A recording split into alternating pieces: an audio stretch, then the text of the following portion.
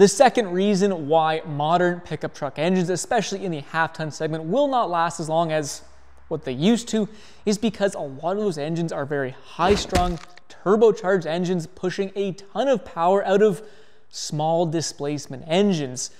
Six cylinder, even four cylinder engines like the Turbo Max are pushing traditional V8 power figures. I mean, the Turbo Max is pushing almost 50 more pound feet of torque than the traditional V8 engine, except this Turbo Max is half the displacement and half as many cylinders. This means that each of those cylinders has to deal with more pressure, more temperature, and that's great for delivering a lot of power out of a small, lightweight, fuel efficient package, but it puts a lot more stress on your piston, connecting rods, cylinder walls, head gaskets, all of which just have to deal with more stress, and that's unlikely to result in a longer lifespan. A high strung, high pressure turbocharged engine is going to create more heat, meaning that the engine has or is going to have more demand on its cooling system, but also it's probably just going to run hotter than a naturally aspirated V8 engine putting out the same sort of power. And heat is one of the biggest killers of engines. So if your engine is running hotter,